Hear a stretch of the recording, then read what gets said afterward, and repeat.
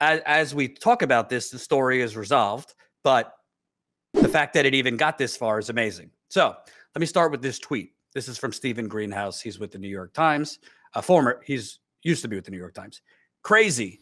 When seven Wisconsin hospital workers quit to work at another hospital for better pay and work life balance, the first hospital didn't try to match the second hospital's offer. It instead got a judge to issue a temporary order blocking the workers from leaving. What? So let me go, you know, take you through memory lane. I don't know about you. When I worked for other people, long time ago, I worked at Fox News, for example, right? Uh, dark, t- dark day. If you have questions, we could talk about it on the members call. I worked at Fox News, first media job, well, second media job. At first, I worked in local television in college. So I went to I went to Fox. I said, "Hey, I got an offer from MSNBC. Uh, Fox asked me how much it was for. I told them they're giving me a ten thousand dollar raise. Uh, Fox actually offered to match it, but I didn't want to be at Fox anymore, so I decided to leave. This would be the equivalent. Not that I'm a healthcare worker. This would be the equivalent of like Fox News going to a judge and saying, uh, "This person is breaching. You know, we, we can't go on without this person, and somehow." It's a life threatening thing if this person leaves. Literally, what this hospital did was say these seven workers who are at will employees so they're not on a contract they could they could come and go as they please and the hospital could fire them as they please. In this country you don't need much of a reason. But these workers what happened was they you know felt um underappreciated did, didn't have a work life balance crazy hours all the things that nurses and hospital workers i've spoken to over the last few weeks very common. Hospital workers are being worked down to the bone there is no work life balance, particularly during COVID. So they got an offer from a, another hospital for more money. They go to their hospital. They say, Will you match? The hospital says no. And these workers are like, All right, I'm giving you my notice. And the hospital literally goes to a judge to basically stop them from going over to the new hospital claiming it's a public health emergency, this and that. Uh, let me read a little bit from the article here. Seven healthcare workers will be able to start their new job at Ascension St. Elizabeth Hospital in Appleton, Wisconsin, after a judge dismissed a temporary restraining order Monday that was barring them from doing so at the request of their former employer, uh, ThedaCare.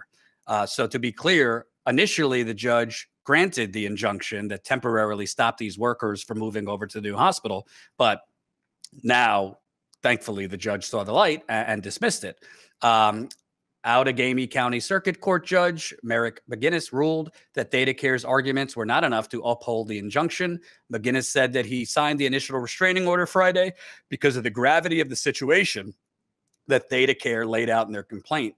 Wisconsin statute says the court should give substantial weight to any adverse impact on public safety when deciding what to require in the order. Uh, let me go down a little bit. Uh, employees say ThedaCare's actions were hurting hurtful after years of service. Testimony on Monday from the employees who worked together for years at ThedaCare's Neenah Hospital, or Nena, I might be mispronouncing it, described a tight knit team of technicians and nurses who wanted a better work life balance for themselves and their colleagues. Kaylee Young, a former interve- uh, interventional radiology technician, at ThedaCare and the first of the group to apply to Ascension, said she had worked at ThedaCare for almost 11 years. She had planned to stay there, but became disgruntled last March when two other employees on her team were let go for reasons that she didn't think were right. At that point, she said she began to look for other work because her position requires her to live within 30 minutes of the hospital. Ascension St. Elizabeth was her only option. She applied for an open position at Ascension at the end of last year. The offer she eventually received from Ascension will give her, quote, life changing money and fewer weekends that she needed to be on call, making it easier for her to be at home with her family. She encouraged the other technicians on her team to apply for other roles. When they each had received offers, they approached ThedaCare on December 21st and asked if the hospital would match the offers. They were told they would not be matched and that ThedaCare leadership understood the seriousness of losing all four technicians, but was willing to let them go. But Young said on Monday she would not return to work at ThedaCare, even if the injunction was upheld. It hurt to have her former employer argue that she and her colleagues don't care about the good of the community. So, Steve, this public health emergency that if it's such an emergency, which COVID is an emergency, uh, they didn't want to match these seven workers. Let me just give you a little nickels and dimes here on uh, ThedaCare. Uh, ThedaCare features 460 beds and has generated approximately 734 million annual net revenue. Let me repeat. Wow. 460 beds has generated approximately 734 million annual net revenue. In fact, I'm reading from Ensemble and ThedaCare named winners of HBI's 2020 Annual Revenue Cycle Awards. So they won an award for their revenue. 734 million annual net revenue. That's a pretty damn good haul. Uh, let me also read. Uh, this is from uh, Fitch Ratings. ThedaCare's operating risk assessment is strong with operating EB EBITDA margins uh, averaging close to 9% over the past three years. Uh, ThedaCare has managed well through the pandemic, receiving a total of about 83 million in relief funding, with 27.7 wow. with 27.7 million remaining to be recognized in fiscal 2021. So, folks, break it down. This company, 734 million dollars in net revenue, and they got 83 million dollars in free money from the government. They wouldn't match these seven workers you know, whatever raise they were getting from the other hospital. But instead of actually matching it, they went to a judge to stop them from at will movement to another company. It's mind boggling, Steve. I mean, I'm happy the judge, after initially granting the injunction, tossed it. But just the fact that right. this hospital did that underneath, Steve, if you look at it, this stuff's going on all over all over the country. I, I'm talking to nurses on top of the horror stories you hear about the COVID patients and overflowing emergency rooms and how many patients they they are dying, uh, you know, while they're having to see this. They're talking about the understaffing that hospitals, instead of giving them raises and hazard, hazard pays, are offering traveling nurses like two, three grand more uh, to come to their hospitals. Yet this hospital that's, it seems, making money hand over fist, instead of just paying these workers more, went to a judge to stop them from exercising the free market. Yeah, yeah. So we got a couple things going on here. I want to take it two different angles because it's really important to see both sides of this. Not that there's two sides to their story, but there's two sides to the story that we need to see as people.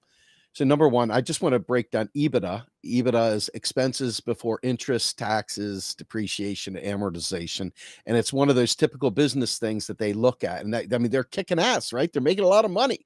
However, the burnout that has occurred in frontline hospital workers and the burnout that has occurred in hospitals in general not just you know the nurses and doctors but you know gurney you know x-ray techs phlebotomists you name it all those people is very real. And if you look at our push in the united states right now the people that want medicare for all and so forth this is really should be very alarming. It, forget the expenses forget the pay et cetera for the moment there is a shortage of these individuals. People have left the workplace, period. They, they don't want to do it anymore. They want out.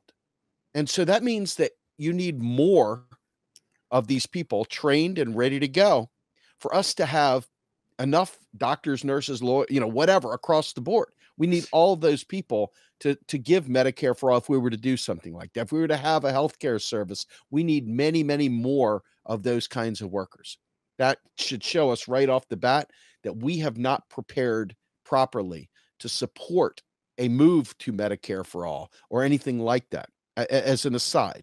Now, back to this. The reason why they're putting going after an injunction here is not about the pay. The bottom line is, is that they, they they don't want to set a precedent. They don't want to set a pay precedent that when this pandemic is over, they can't unset. So they're willing to spend extra money on traveling Uberization nurses, if you will, uh, because they're not giving them benefits, they're not giving them anything else. It's just additional pay.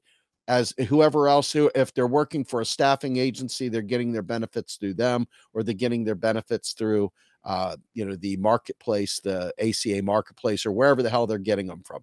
But bottom line is that hospital is most likely not providing a full suite of benefits. And so they're willing to pay a premium for that because they know when the time comes, they could just let them go. They don't, if there's no need for them, they can just let them go. So this is more about adding precarity and more about ensuring that they don't set a new high watermark on wages when this is over and then they're stuck paying this because nobody wants to have their wages clawed back. So they could afford this all day long. There's no question about it. But this comes down to a fact that we don't have enough frontline workers and they're out there competing for these things. And and quite frankly, they don't want to settle uh, the watermark. That that's what it all comes down to. They want their cake, they want to eat it too. But the more alarming factor is that we don't have enough of those kinds of workers in this country to staff up to meet the basic needs, the basic healthcare needs of all American citizens. And that should be number one priority as a nation is making sure that we have enough doctors, nurses, et cetera, to to address the healthcare in this country. Um, we're not as as a government. The government is failing us big time there. Even without Medicare for all, there there should be all kinds of uh, incentives to get people trained and to get people into these positions because we need them. We need them. Mm-hmm. We need to replenish those who have left the workforce, and we need to replenish those who have retired, et cetera. Uh, I, I, think it's a very, very serious. It is a national healthcare emergency in that sense that we don't have enough. It is absolutely an emergency. Should not be uh, stopping them from moving to another hospital, though.